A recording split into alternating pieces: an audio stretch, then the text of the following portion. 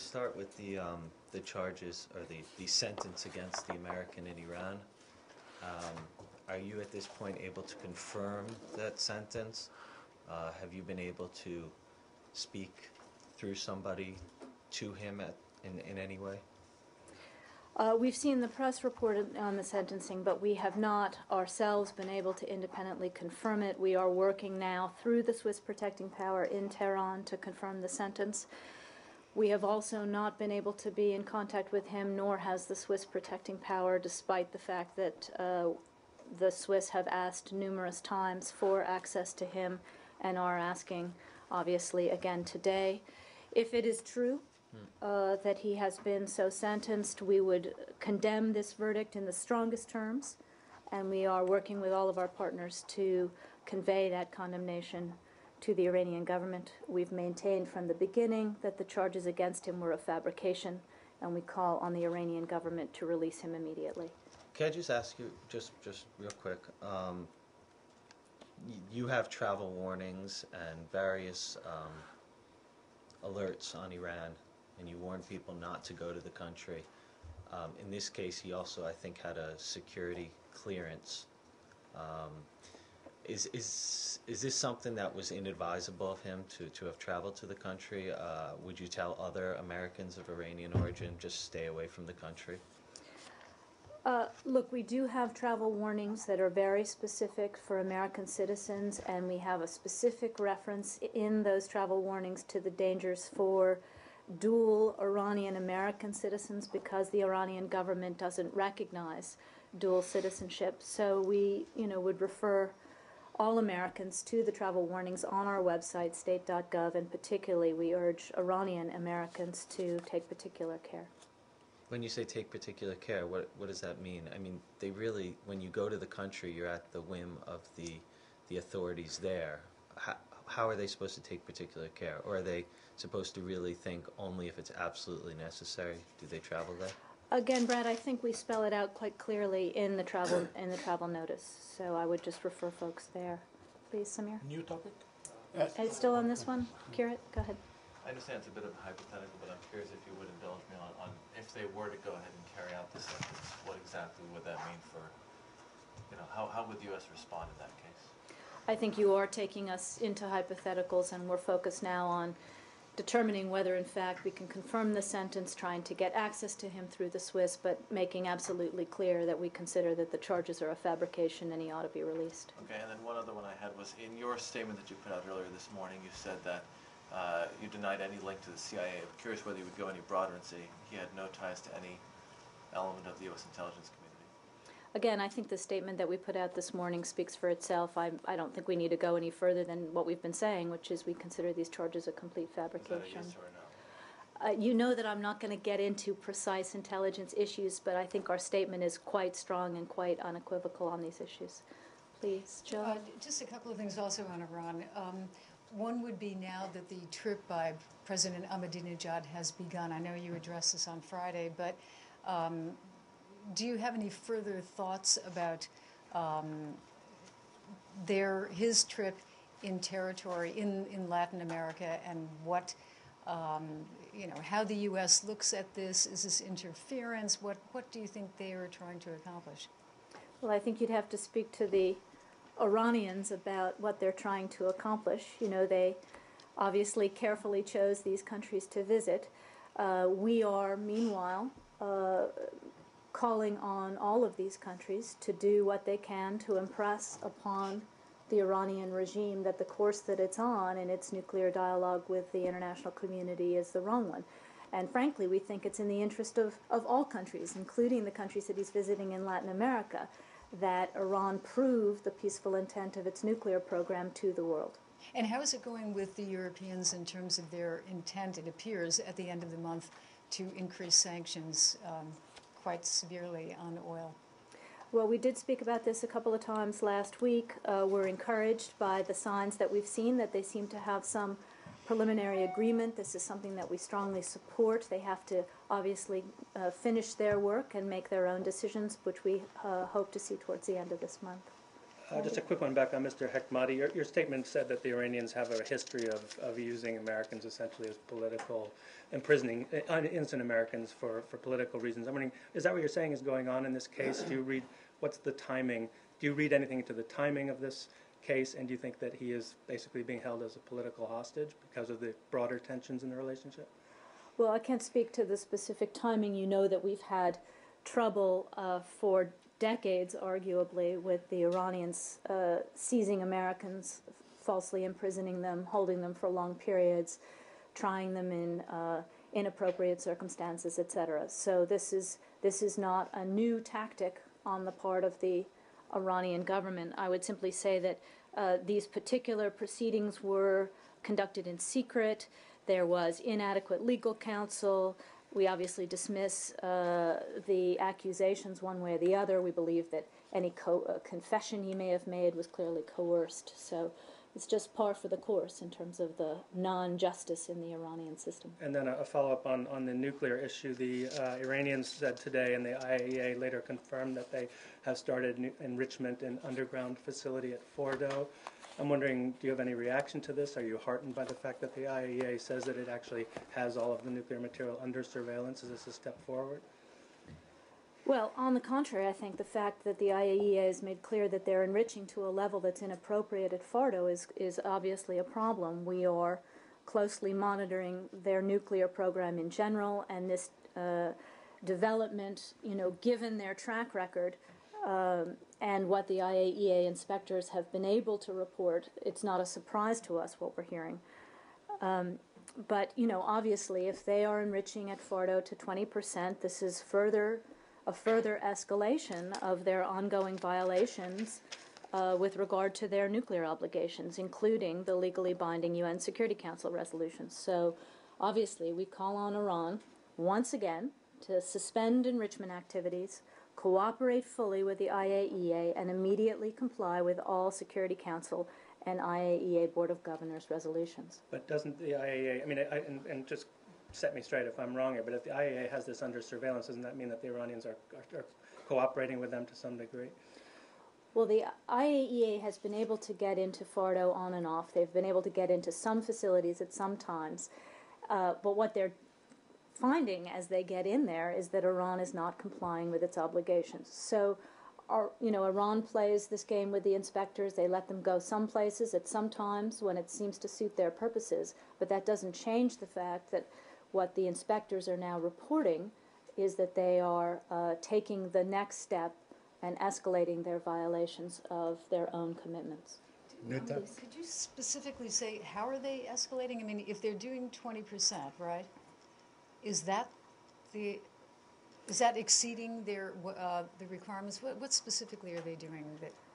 Uh, When you enrich to 20%, there is no possible reason for that uh, if you're talking about a peaceful program. So it generally tends to indicate that you are uh, enriching to a level that uh, takes you to a different kind of nuclear program. Please. Yes. Could I ask about the uh, Mr. David Hale's meeting with the Secretary of State? With David Hale's meeting with the Secretary of State? Yes. Well, obviously, this was uh, an internal meeting. Okay. It was our uh, lead negotiator on this subject reporting to uh, his boss. So I'm not going to get into the details of that meeting. So it did not coincide with the meeting in Amman, with the quartet meeting? Or do you know anything about the meeting in Amman, any results? The Well- meeting with, with, with the quartet and between Yitzhak Molcho and Saeb Erekat? Well, as you know, the this round of meetings today in Amman continues the process that the Jordanians began hosting last week. The quartet envoys were in Amman for the kickoff of this series of meetings. The parties are now meeting directly uh, without the quartet envoys in the room under the Jordanian auspices, and this is the second round of those. Uh, as we said last week, we consider this a positive step uh, as they go forward and begin to talk to each other, because obviously, only by talking to each other are these issues going to get settled. Uh, with regard to today's meeting, uh, we don't have a readout. The meetings are ongoing, But I'd like to say more broadly that I don't think that we are going to be, or the Jordanians are going to be, or that the parties are going to be reading out every one of these sessions. Uh, we are now engaged for the next uh, couple of weeks, we hope, in a process of direct dialogue. These meetings will happen intermittently under the Jordanian uh, auspices, and that's a good thing. And frankly, rather than uh, sort of trying to get in the middle of all of this, uh, we need to give the parties a little space and, and see where this goes. The Palestinian called this exploratory meetings. Do you hope that they will sort of evolve into sort of some sort of direct meetings on issues like border and refugees and all that?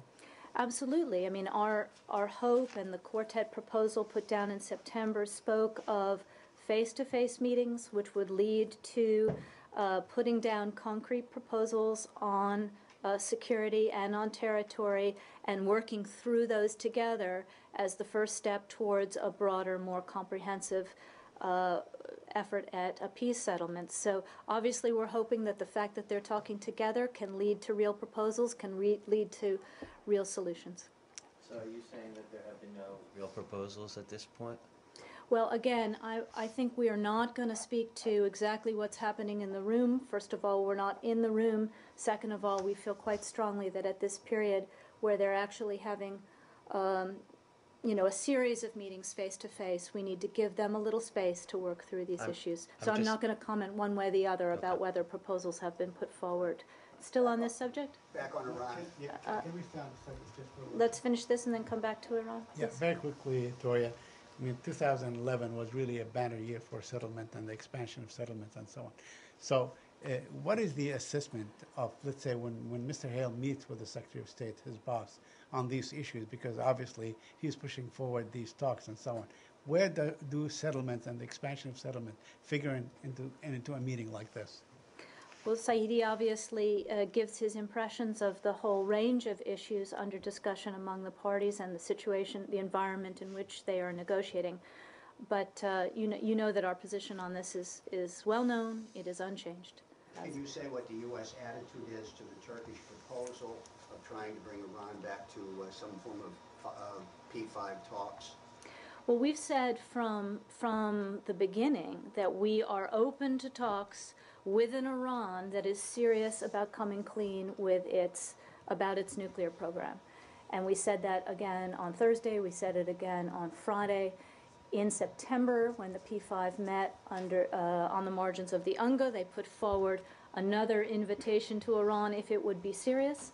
Iran has said it wants to take up that invitation for talks, but it has not yet responded in writing to the P5 plus one's proposal. So, you know, we await, await seriousness on the Iranian side. We've seen the reports in Turkey, but we haven't yet had what we need, which is a letter back from Tehran. Still on this subject? Yes, still on Iran. Yeah. Yes, uh, it's about uh, still on Ahmadinejad's tour. Um, the Guatemalan government has confirmed uh, that he will be present next Saturday at uh, Otto Perez Molina's inauguration. And I was wondering, this is adding another country to his tour. Uh, are you uh, worried that he's trying to expand his influence, on particularly in Central America? I think the Guatemalan government knows very clearly where we stand. They also know what the international community is trying to do. So, um, you know, I think the the issue is to send a strong message to him uh, at every one of these stops that uh, Iran is going to remain isolated and face difficulties if it doesn't do what it needs to do with the UN and with the IAEA. Still on Iran? finish with Iran. Yeah. Michelle. On Syria, do you have any assessment for the Arab League meeting uh, yesterday? And have you got any uh, anything from the Arab uh, League regarding the observers' work?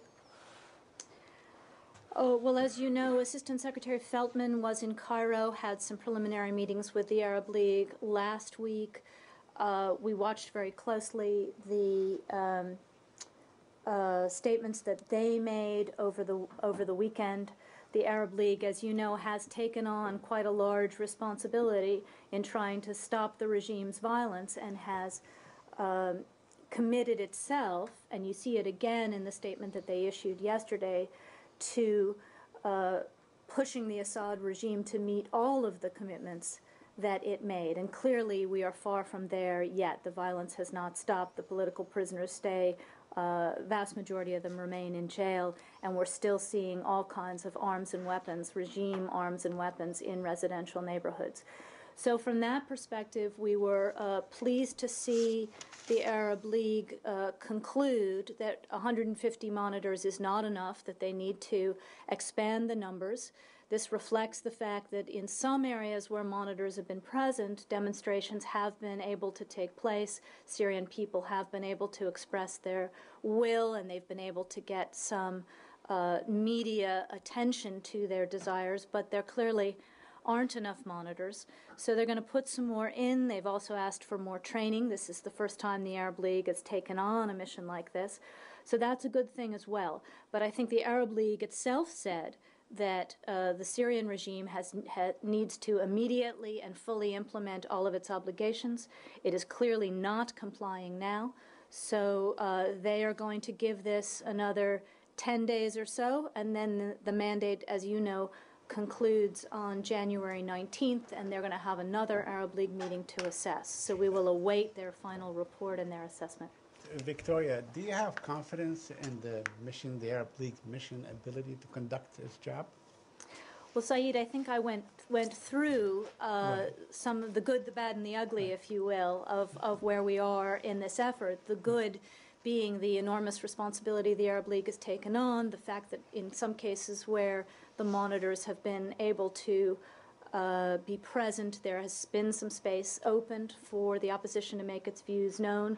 The bad, the fact that you know they are far from uh, the Syrians are far from complying with all of their obligations, and the truly ugly, the degree that the violence continues and that uh, prisoners stay locked up. So, you know, this is a mixed picture. I think the Arab League itself evaluated it that way, and we'll see what more monitors and another 10 days brings.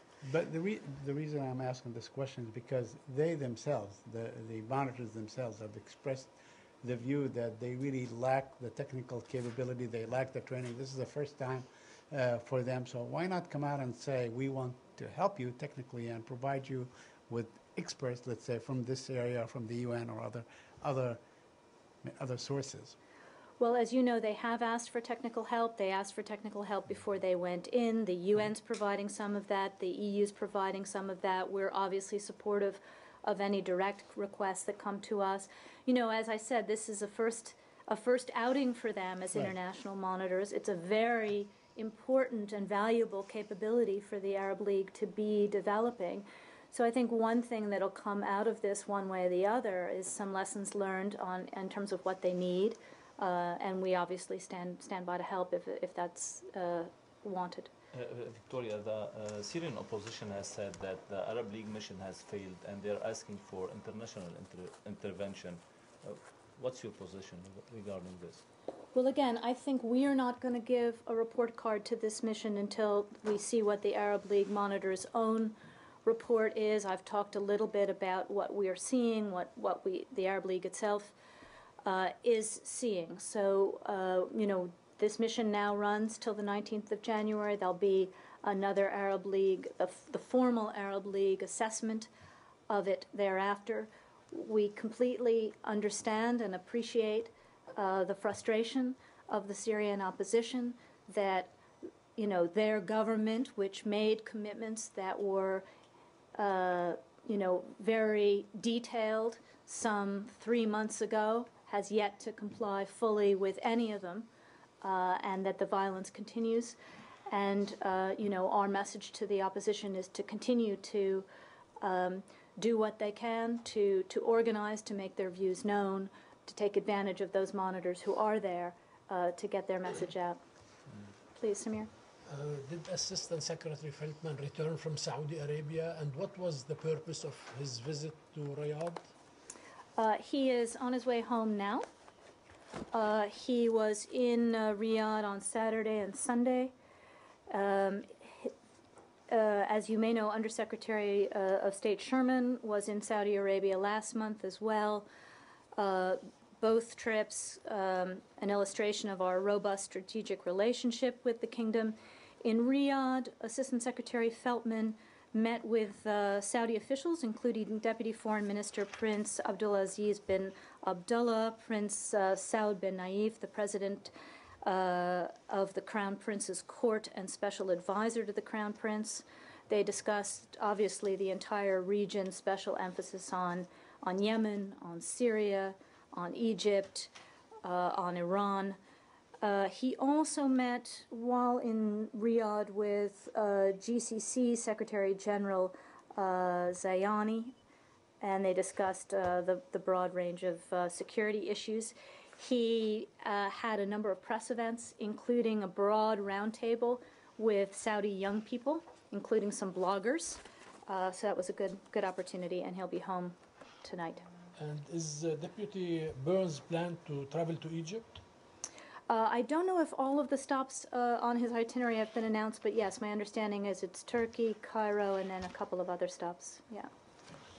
In those discussions, uh, particularly on Yemen, I'm wondering if- if the, this new Yemen immunity law came up and that would apply to President Saleh and a lot of his officials. Um, I, you mean whether in Riyadh they talked Yeah, about or, the or Yemeni more basically what the U.S. view is of this law that's been proposed. They're saying it's a way to speed Saleh's exit, but uh, others say that it's a contravention of international law and it'll let him get away scot-free. Well, I think you'll remember that as part of the uh, GCC um, transition initiative, which President Saleh ultimately signed, and which Vice President Hadi and the opposition are working together to try to implement now. Uh, the there was a provision of immunity for President Saleh that, and those who worked with him during the period uh, of his government. Uh, however, that had to be uh, put into uh, into law, so that's what they're working on now. Um, you know, this is part and parcel of giving these guys confidence that their era is over and it's time for um, Yemen to be able to move forward towards a democratic future. Uh, Jill, still on Yemen? No, No. On, on, on Yemen, the Yeah. signals uh, from Sana'a are, are confusing because Hadi is saying that Saleh keeps interfering in his affairs, and I think this this law may just add to the convolution of the, the conduct of government business. I don't understand the. Uh, my my my um, my question is the, the follows: the, the vice president had said that the former president or the current, soon-to-be former president Saleh keeps interfering in their affairs. Now, this law that grants Saleh immunity will give them even more latitude to interfere. Uh, again, Saeed, this is not a new element. The, the immunity provisions were negotiated as part of the GCC deal to get get Saleh to leave power. They have to be codified in law. That's the process that's ongoing now. It hasn't yet been completed, but. Y- you know that in these situations, it's awful, often difficult to get the strong man to leave the stage when his time comes if he's not sure about his safety and security. So, the degree to which this process um, you know, allows him to get it out of the way so that uh, the Vice President Hadi and the opposition can get down to the work of implementing the transition plan. Uh, that would be a useful thing, but it's still in draft, as you know. Any decision regarding the visa for President Saleh? Uh, no, no decision.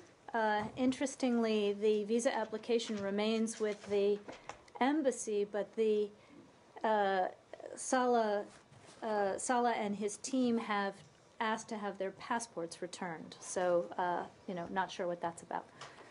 Uh, just kind of an update on uh, those NGOs, whether, forgive me, you, I was not here at the end of last week, but whether the NGOs have gotten their property back, uh, where we stand with that, and also more generally, the um, gains by Islamist parties. What, how does the U.S. look at that? Uh, with regard to the uh, aftermath of the raiding of the NGO offices, my understanding is that uh, they have not yet gotten back uh, all of their property. Our conversations with the Egyptian government continue. This was front and center in Assistant Secretary Feltman's conversations, trying to work through a way forward on these issues. Our, our position remains that uh, these NGOs, as well as Egyptian uh, domestic NGOs, play a very important role in a healthy democracy, not only in uh, helping to train election monitors, but also uh, to train in an open way uh, political party folks, to train the press in how to cover elections. So we would like to see uh, that situation normalized. With regard to the elections, uh, let's just, uh, first of all, um, make note of the fact that uh, the Egyptians have now had three peaceful, uh, well managed, uh, in general, uh, rounds of elections, that the turnout has been strong, that the Egyptian people have clearly enjoyed taking advantage of their right to go out and express their views. Uh, with regard to the results, I think I don't want to get ahead of the uh, official vote counts, et cetera, which are still to come. But as we've said all along, Jill, and as I said again last Thursday or last Friday, uh, we're going to judge these parties not by the names on their doors or by their past history. We're going to judge them by what they do uh, with uh, the power that they are now getting through the democratic electoral system. Are they going to make good on the commitments that they've made to the Egyptian people and that they've made to us when we've met with them to uphold universal human rights, including the rights of women, to uh, ensure that the open, democratic, tolerant, pluralistic system that the Egyptian people fought to have um, truly comes to be.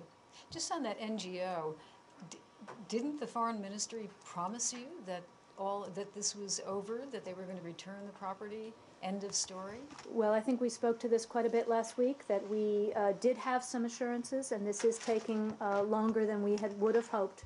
But we're continuing to talk about it, and as you know, uh, as I previously mentioned, Bill Burns is our next senior official to uh, be in a position to discuss this in Cairo.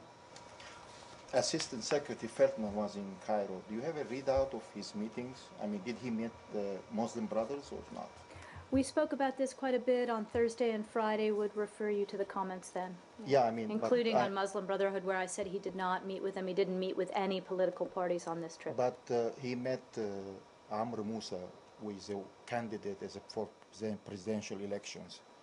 Does this as a former Arab League secretary or as a candidate for presidency?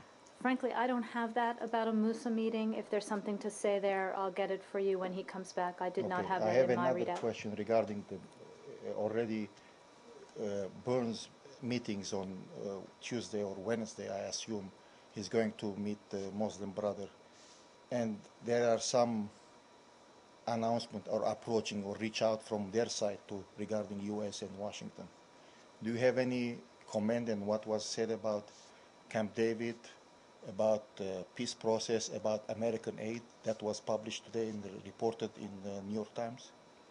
These are Muslim Brotherhood comments with regard to where they're interview going to be. interview with regarding U.S. relations with uh, regarding their relation with U.S. Yeah, I'm not going to comment on a press interview that the Muslim Brotherhood gave. I think the answer that I gave Jill earlier about how we're going to judge uh, these parties uh, covers our attitude with regard to these matters, including the fact that we want to see uh, Egyptian parties uh, support existing international obligations that Egypt has. And uh, my last question, maybe, it's regarding Jill. What she asked about the NGOs. What's the next step?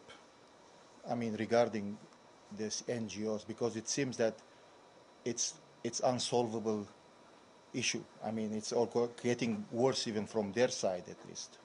Well, as I said, we're continuing to discuss this with Egyptian authorities in terms of uh, meeting their requirements for transparency, et cetera. We are working it through. Assistant Secretary Feltman discussed it, and again, uh, we have Deputy Secretary Burns there next later this week, and he will discuss it as well. Thank you. Saeed. Just a quick follow-up on the rise of these Islamic parties into a position of power. The foreign, uh, the German foreign minister said in Tunisia, Guido Westerwelle, said that uh, these parties are very much like the Christian Democrats in, in Germany and other places. Is this also the feeling in, in this building, that they are really very much like the Christian Democrat or the social Christian? You're asking parties? an American to compare an Egyptian party to a German party. Well, I think I'm going to leave he that called- to the Germans. he called these parties. I think I'm going to leave that to the German side. Brad. There's a congressional delegation in Germany today meeting with members of the uh, Northern Alliance. Does the State Department have a view on these meetings?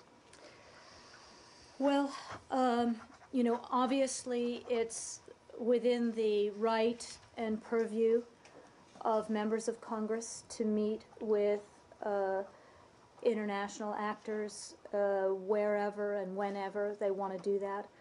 We did uh, advise our members of Congress uh, who are in Berlin that, that we believe it is always better to meet Afghan representatives in Afghanistan, and that we also believe it's always best when our members of Congress can see a broad cross section of Afghan political leaders, not just a, a, a slice.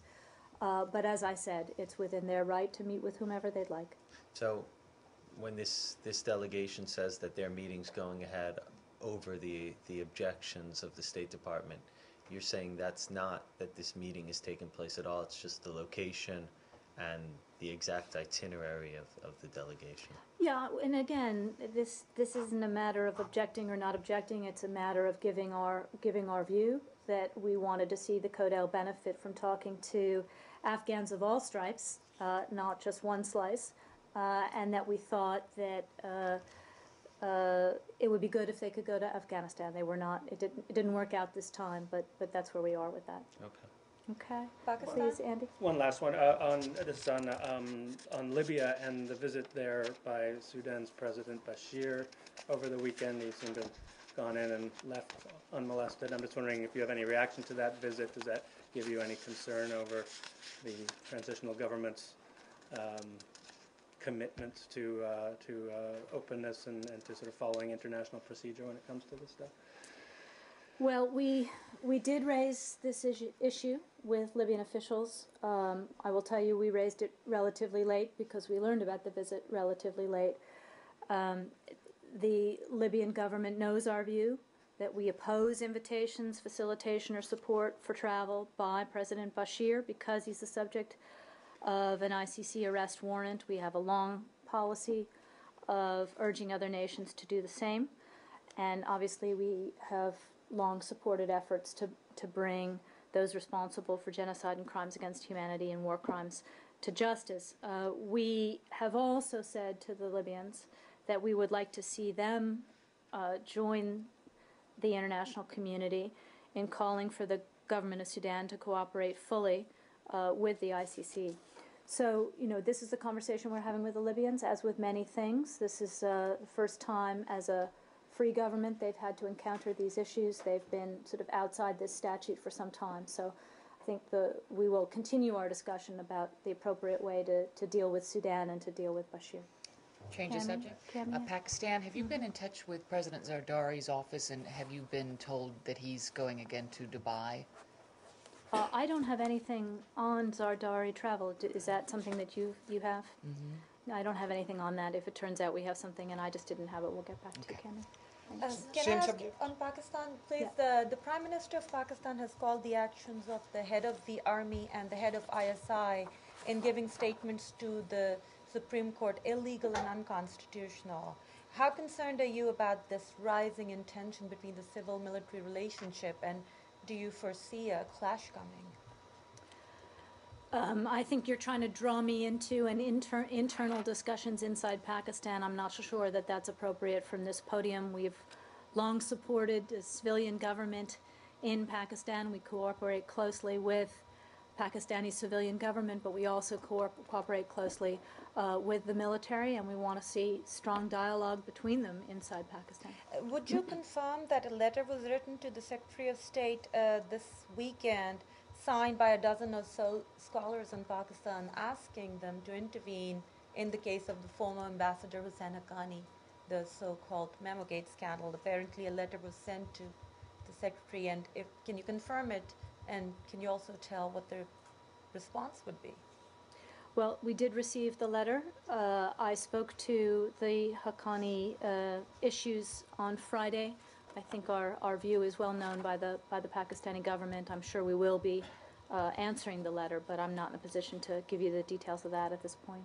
Uh, Can you update us on uh, efforts to uh, improve Pakistan-U.S. relations now that the country's ambassador is also here in Washington? Are you planning to meet her? Uh, we'll obviously uh, welcome Pakistan's new ambassador to the United States. She'll be received here. At an appropriate moment, she'll also uh, present her credentials at the White House when they schedule that. Uh, it'll be uh, a good chance in the new year to talk about the important work that we have to do together. Yeah.